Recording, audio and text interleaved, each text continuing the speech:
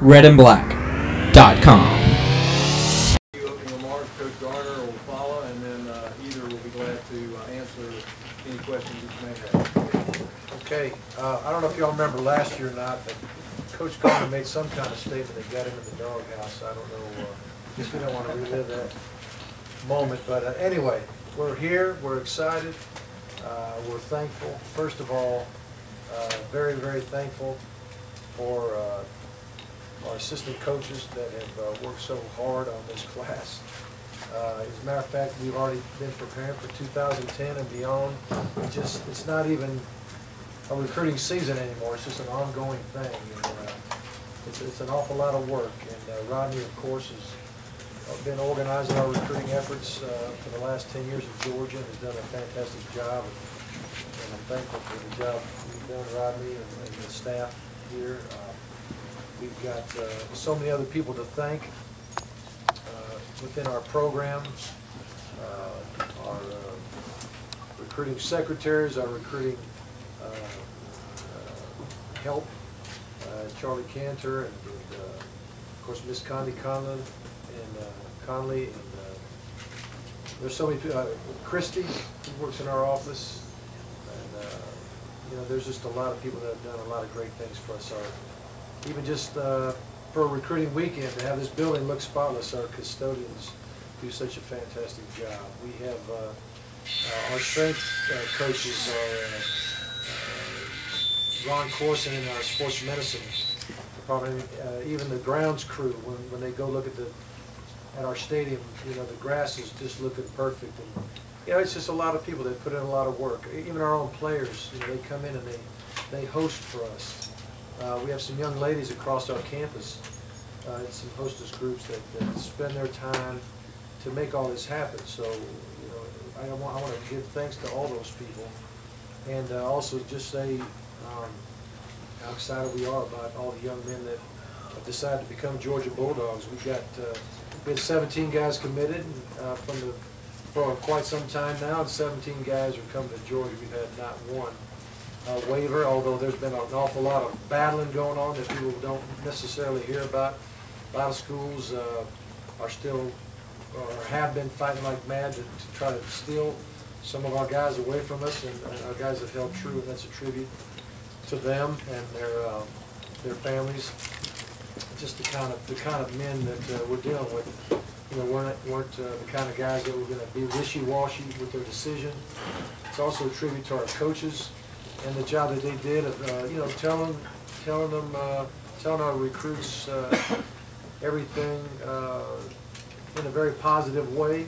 We're, we're always gonna spin Georgia in a positive way. We're always gonna talk about our, our program and not other programs.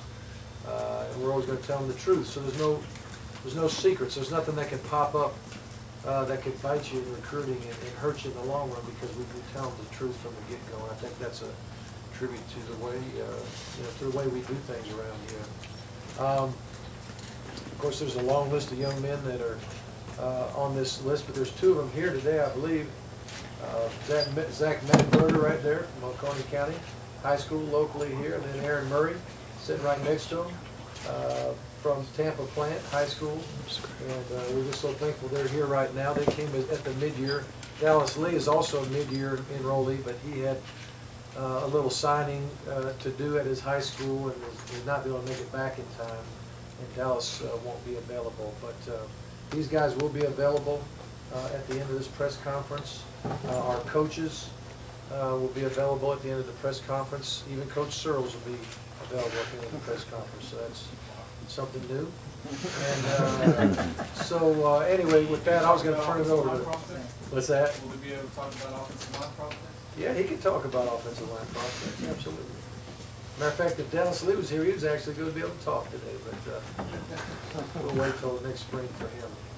Uh, What I was gonna do now, what I was gonna do now is, uh, turn it over to Coach Garner, and then after Rodney's finished, we'll let y'all ask any questions you like. Uh, I do have my phone here, if it does happen to ring, and the right person is, uh, shows up on the screen, I might have to excuse myself, so that's, uh, we're not quite done yet, I think. So Rodney, have at it. Okay. All right, well, just like Coach Richt says, a very exciting day. uh, here uh, for signing day for, for two reasons for me. It's been 365 days since last year, and I get the opportunity uh, to redeem myself uh, with my wife.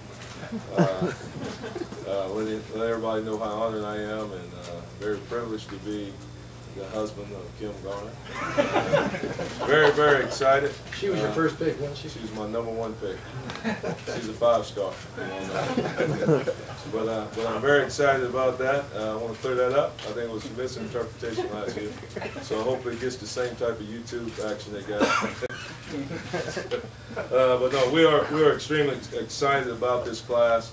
Uh, you know, just like Coach Richt said, you know, a lot of excitement and glitter of the class, you know, we don't get as much on signing day because, you know, so many of our kids were committed so early. Um, and we didn't have any guys to defect, uh, you know, openly, but, you know, like Coach Richt said, there were, there, there were other schools still, you know, hammering away even to the twelfth hour last night, trying to get kids to change their minds. But that just shows you that we have the right type of kids that are committed to this program, and we're excited about these kids, and we're excited about the direction of the program, and where they're gonna help us go in the future. And, uh, we feel like we were able to meet all our needs. Uh, if you look at the class, it's a very balanced class. Um, I think you look at it across the board, there's pretty much every position covered, uh, except for probably specialists. Uh, So, uh, but, you know, we feel like we were able to go out and address the needs of this team, and we feel like we were able to attract the caliber of student athletes that we want to represent the University of Georgia and represent our athletic program. Uh, So we're extremely excited and happy, and we can't wait for the, uh, the entire class to be on campus here in June. The other thing I'd like to mention is, uh, and I, I say it every year because we tend to uh, get the majority of our classes wrapped up pretty early. Um, I think our coaches are very thorough in their evaluation of these young men. They do a great job of getting the offers out at the right time. And, um, you know, a lot of the guys are very excited to, to jump on board early and, and and get it over with, go through their senior year where they can concentrate on their, on their season, and their academics and their leadership and not to worry about the, the madness of, of the process. Uh, I do think a lot of people enjoy the drama on signing day. They, they, they want something, uh, you know, exciting to happen on that day, but I can promise you, just take those two guys for example. If they decided this morning they were going to Georgia, there'd be an explosion in the building, you know, everybody'd be so jacked up to have two of the finest quarterbacks in America, in America to come to Georgia. You know, both uh, elite eleven finalists, uh, both guys that uh, have tremendous potential. And, uh, you know, so, you know, if, if they were, if they waited the last second, everybody'd be going crazy right now. And And you could say that about any one of these guys on this list. So, uh, you know, I'm not all, I'm not all about all that drama. I'm about uh, taking care of business uh, in the right way, getting the right kind of people, and, uh, you know, getting guys that want to be Bulldogs to the point where they're not gonna be, you know, uh, where they're not gonna waver from uh, coaches coming in and trying to, uh, and trying to change their minds